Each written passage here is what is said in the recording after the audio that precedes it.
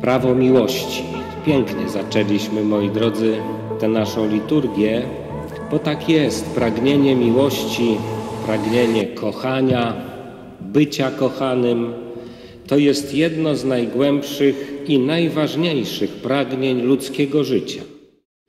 To ono sprawia, że kobieta i mężczyzna chcą się ze sobą zjednoczyć w tej wyjątkowej wspólnocie, jaką jest małżeństwo. And scars, show me all the scars you hide. And hey, if your wings are broken, please take mine so yours can open too. Cause I'm gonna stand by you.